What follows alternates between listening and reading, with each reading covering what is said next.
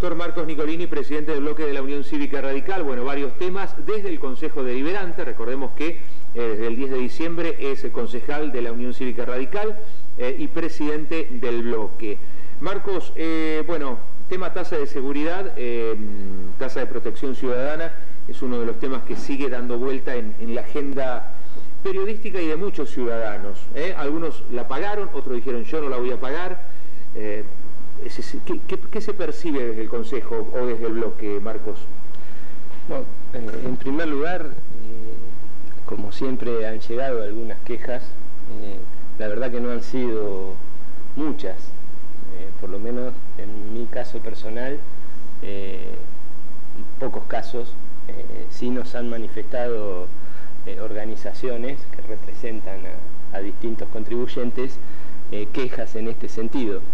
Eh, yo acá, digamos, lo que sí quería eh, manifestar es eh, este debate que se dio sobre la constitucionalidad o no, apelando a fallos de otros municipios, básicamente el fallo de Pringles, que era un tributo sobre la tasa vial, que se llamaba de apoyo a la patrulla local, no tiene nada que ver con la sobretasa de protección ciudadana que se cobra en Tandil. Allí el caso era que se recaudaba, se transfería ese dinero a la patrulla rural. Cuando la Corte eh, indaga cómo era esto, quién recaudaba y quién prestaba el servicio, recaudaba el municipio, prestaba el servicio a la provincia de Buenos Aires y allí es donde dice que es inconstitucional porque el servicio por lo que se recauda no lo presta la eh, municipalidad. Aquí la tasa es por protección ciudadana, incluye el servicio de monitoreo, el tendido de la fibra óptica. Podríamos decir que hay una parte entonces que es inconstitucional que va para el tema que, del cual debería ocuparse la provincia. Perdón, perdón. Sigo. Eh, control vehicular urbano, defensa civil, atención a la víctima, eh, todo lo que tiene que ver con nuevas tecnologías en cuanto a comunicación y apoyo a la policía bonaerense que hace más de 10 años en todos los presupuestos municipales hay un ítem con eh, origen de fondo 110, eso es de tasas municipales para apoyo a la policía bonaerense, porque el municipio ha firmado convenios con el Ministerio de Seguridad haciéndose cargo de distintas eh, cuestiones que hacen a la seguridad pública como mantenimiento de unidades, de patrullas, eh, provisión de combustible. estas cuestiones se fueron haciendo hasta llegar a un punto que con los recursos normales y ordinarios eh, no se da abasto para eh, todas estas cuestiones. Y ahí surge la necesidad, sumado a todo lo que es eh, convenio con Policía de Prevención Local, que está firmado por el Intendente con el Gobernador y avalado por el Consejo Deliberante. Bien, sí, y que Marcos era jefe de gabinete y trabajó mucho en esto. O sea que esas cuestiones ya se sabían en el momento que, que se firma este este acuerdo, ¿no? este convenio, no sé cómo, cómo es este, la estructura se sabía de todo lo que se tenía que hacer cargo el, municipio respecto a la policía local una vez que, bueno, Sí, por supuesto, en ese momento de un presupuesto en ejecución, eh, faltaban varios meses para terminarlo, se traspasaron áreas municipales a la nueva Secretaría de Protección Ciudadana, como es eh, control vehicular urbano, defensa civil y atención a la víctima, eh, y el centro de monitoreo, y se funcionó hasta fin de año con esas partidas, eh, totalmente insuficiente para manejar toda la estructura.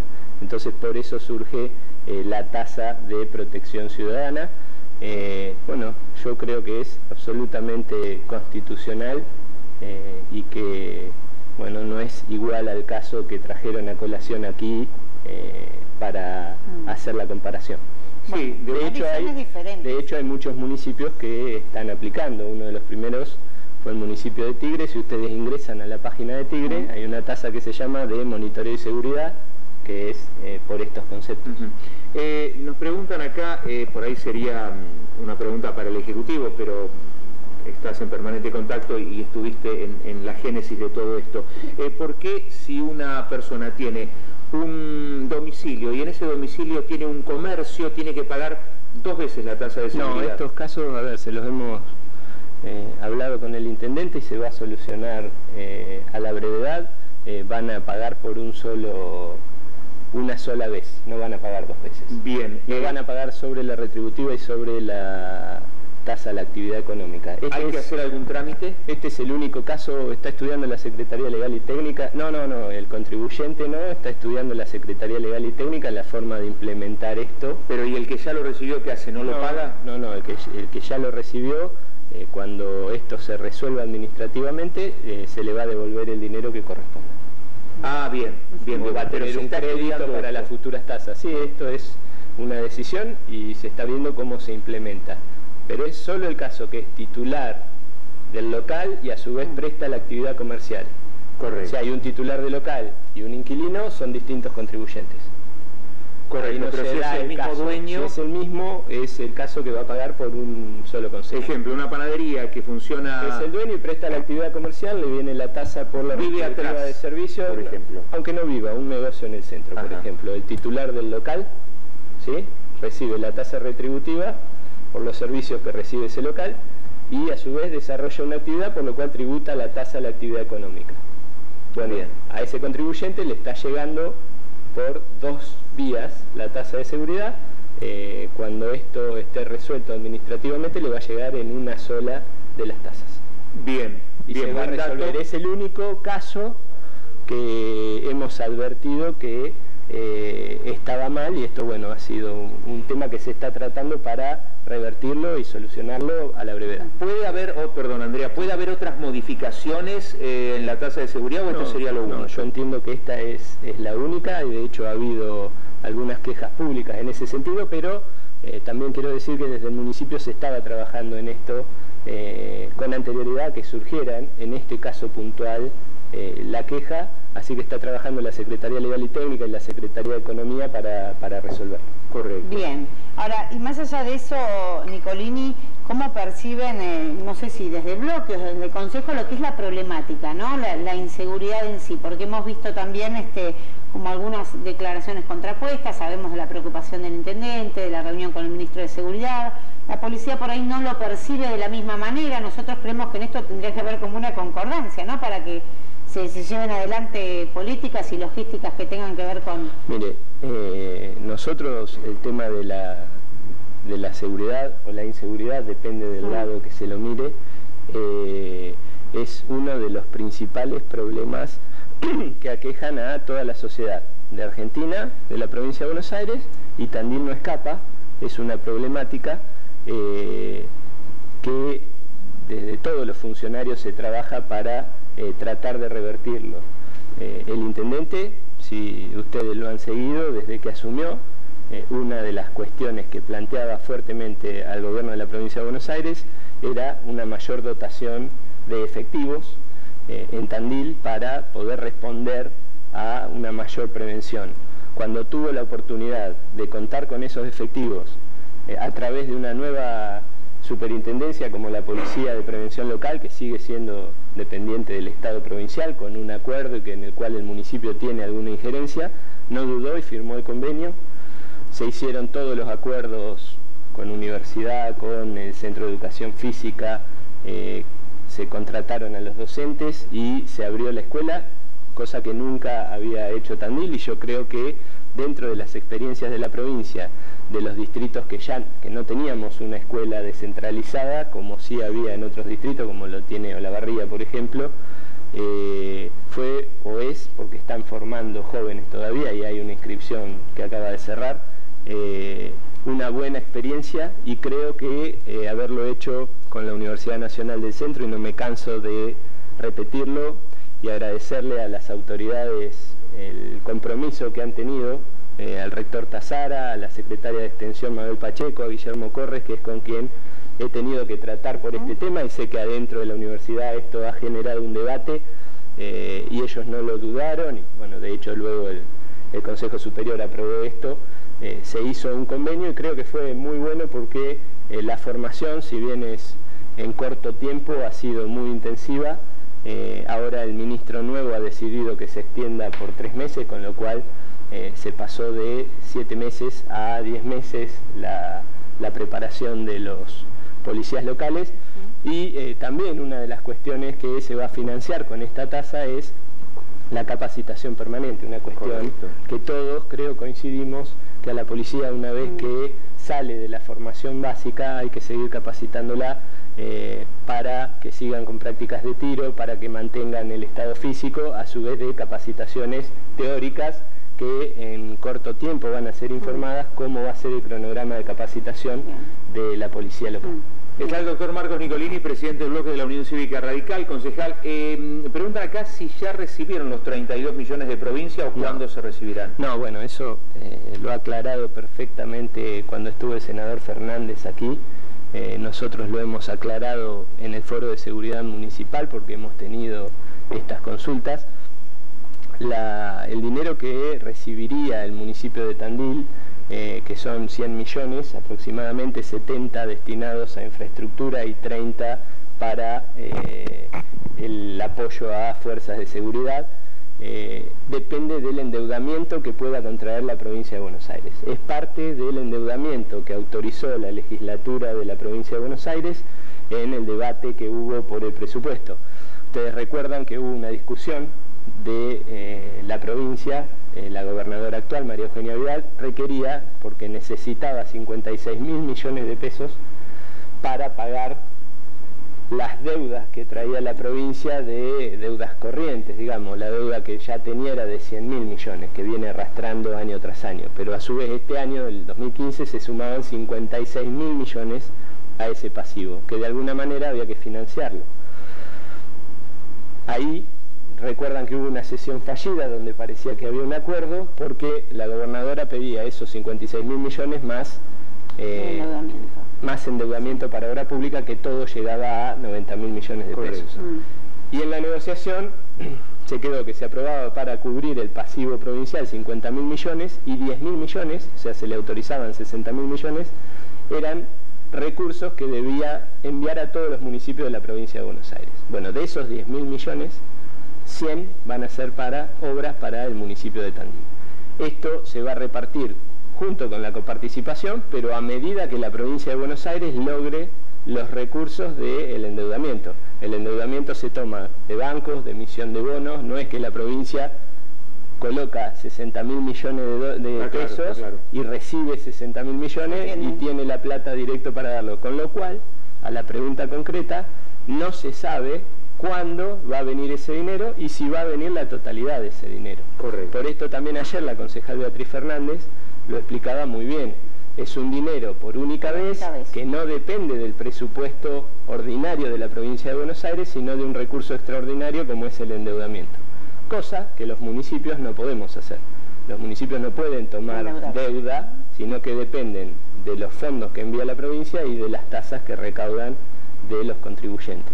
Entonces, bueno, esa, ventaja esa, esa, esa, esa suma de dinero. pueden tomar deuda, pero pueden crear tasas. Yo en mi casa no puedo ni tomar deuda ni crear tasas. Sí, tomar deuda sí, está bien, Está bien, pero también el municipio tiene muchas funciones eh, y que se tiene que hacer cargo, eh, lamentablemente porque eh, hubo muchas falencias también en los distintos gobiernos provinciales que no se hacían cargo de determinadas cuestiones que yo celebro que en este debate por la tasa haya quedado claro que la seguridad es una responsabilidad de la provincia de Buenos Aires, porque lo hemos discutido aquí antes. Entonces, hay cuestiones que quedan claras y que pasan desapercibidas. El municipio de Tandil y la gestión Lungi en particular, durante 12 años ha contribuido a sostener la seguridad. Si acá se debatía si era una obligación de la provincia, era una obligación del municipio. Ahora, cuando después la plata no llegaba está bien, pero hay que ver quién se tiene que hacer cargo de eso y el municipio nunca dudó porque eh, privilegia la seguridad en, que nunca dudó? Nunca dudó en contribuir. Ah, en contribuir y aportar recursos, porque creemos que no podemos dejar los patrulleros sin nafta o sin gas o sin el combustible que llega porque no venía la partida correspondiente. Los alquileres, no había dependencias donde funcionen. Yo me acuerdo del caso de drogas, por ejemplo, había tres oficiales funcionando en la estación del tren y el intendente cuando eh, tuvieron los recursos, eso hace que a veces haya que dejar de lado obligaciones que son municipales para compensar estas cuestiones. Entonces ahí está el debate de los recursos municipales. Está el doctor Marcos Nicolini con nosotros, presidente del bloque de la Unión Cívica Radical. ¿Quiere dejar alguna pregunta para el próximo bloque? Em, sí. No, vamos a llegar a fue la reunión del Foro en Gardel? Sí. Bueno. ¿Estuvo presente? Sí, sí, sí. Vamos, hablamos un poquito de eso también. Tenemos previsto después de las 9 hablar con Alejandro Tiscornia, pero por ahí hacemos un anticipo, eh, por lo menos desde la visión, desde el Consejo. Creo que le corresponde más al presidente del foro que a mí, pero, concejal... Claro, pero por ahí las visiones son distintas. Ningún problema. Bien. El doctor Marcos Nicolini con nosotros. Sí, bueno, porque le preguntábamos por su participación eh, ayer en el foro que sabemos que estuvieron en Gardeo y Marcos, bueno, ¿cuál ha sido la percepción, el reclamo? Sabemos que allí se está tratando de avanzar con instalar una base no operativa, nos había dicho de inicio. Sí, en, realidad ayer fue una reunión, eh, a mi modo de ver, positiva en cuanto al encuentro de eh, los vecinos con las autoridades del foro. Espera, perdóname. Eh, eh, perdón. Ahí está, exactamente. Que decía que fue una reunión positiva eh, en cuanto a que se produjo un encuentro entre vecinos en buena cantidad y autoridades tanto del foro como autoridades municipales. Hubo presencia de concejales, como siempre, en el foro de seguridad, del doctor de la Magiora, que es el secretario de Protección Ciudadana, de José Denicio, el subsecretario, eh, Martín Romano como director del centro de monitoreo. Eh, se escuchó la problemática, por supuesto que estamos al tanto, hubo cuatro hechos eh, graves. En, ¿Había vecinos? sí, sí, sí, sí, muchos de los cuales habían, habían sufrido hechos. Bueno, eh, algunos de los planteos era en cuanto al avance de las causas, a la resolución. Pero gente de la justicia a la reunión no, no va. No, gente de la justicia no, no estuvo presente, pero sí hubo autoridades policiales también. Eh, y eh, el director de atención a la víctima contó cómo está cada una de las causas, que se está investigando, hubo algunos allanamientos, digamos, esto fue lo que se informó a todos los vecinos que estuvieron presentes. Eh, bueno, y también, eh, por supuesto, eh, escuchamos el reclamo de una mayor prevención para tratar de evitar que se produzcan estos, estos hechos. y el secretario, bueno, ya lo, va a manifestar él, les dijo cuál era la idea, hay una idea y un estudio de colocación de cámaras, hay que ver un tema de tecnología, porque es una distancia eh, importante desde Gardey a Tandil, hay que lograr el, que el centro de monitoreo de aquí pueda ver las imágenes, bueno, esto, los detalles técnicos eh, está estudiando el proyecto el secretario de Protección Ciudadana y es él el, encargado de, decirlo, aparte les dijo a los vecinos que esto va a llevar un tiempo, no es de hoy para mañana, porque se está estudiando qué tecnología puede brindar ese servicio. Hay un avance ya, así que bueno, esperemos que se pueda concretar eso. Y algunas cuestiones puntuales que, bueno, eh, hemos tomado nota y vamos a tratar de, resolverlas. Bien. Eh, ¿Cuáles son los otros temas que están dando vuelta en el Consejo por estas horas, Marcos? Bueno, la verdad en el Consejo, en la Comisión de Derechos Humanos y Seguridad, que nos hemos reunido ayer, eh, seguimos tratando algunos temas que ya vienen de antigua data en la Comisión, se están resolviendo algunos de ellos. Eh, que tienen que ver básicamente con denuncias. Eh, un tema que, vimos fue eh, de una denuncia de la cárcel de Barkel, se envió una nota pidiendo información a esa cárcel. En la Comisión de Interpretación y Asuntos Legales hemos aprobado algunos contratos que, se han firmado desde el Ejecutivo y requieren validación del Consejo Deliberante y estamos tratando el contrato con el municipio de Usicom por el tema de los residuos sólidos urbanos. Ustedes saben que Usicom se hizo cargo del de el, relleno sanitario, que, antes lo manejaba una empresa privada y ahora también, porque Usicom es una empresa privada, pero con participación estatal mayoritaria. El centro de convenciones que está demorado, el famoso sobre número 2. Sí, eso sigue, sigue demorado. ¿Por qué? No, la verdad que no tengo... Pero eso sigue demorado, digamos, en el Ejecutivo. Sí, sí, sí, está demorada la apertura del sobre número 2. Correcto. Eh, ¿Desde el Consejo hay que hacer algo ahí o solamente interviene cuando se se aprobó el pliego del Consejo? Se aprobó el pliego. Bien. Bien. Y otro de los temas también que nos interesaba saber es cómo continúa eh, el tema de los lotes de Segurola tras la Asamblea Ciudadana que se celebró el 4 de febrero. Ahora eh, esto tiene que ir a, comisión. Sí, por supuesto, tiene que pasar por, por varias de las comisiones del Consejo y una vez que haya acuerdo en el tratamiento pasará a acuerdo o desacuerdo, digamos, pasará al recinto para eh, la votación del tema. No hay plazo. La asamblea sí. en la audiencia pública. sí, audiencia, sí, sí, estuvimos ¿Y, cómo fue casi todos los concejales. Bueno, yo lo dije a colegas de ustedes, incluso de este, de este canal, eh, a mí me pareció muy positivo poder escuchar eh, todas las voces, voces de quienes adquirieron lote, voces de los propietarios, voces de la Asamblea en Defensa de la Sierra, de la universidad, de distintas organizaciones sociales que se manifestaron. Eh, me parece que es ejercer un derecho democrático que tenemos todos de poder hacer oír nuestra voz a las, a las autoridades. Y bueno, ahora hay que, que, reunirse en las distintas comisiones y cuando haya consenso, no digo para aprobar o desaprobar, para tratar el tema pasará al recinto eh, a sesión, lo que no hay un plazo después de la, de la audiencia pública, no es que hay 20 días, 30 días, un mes para tratarlo.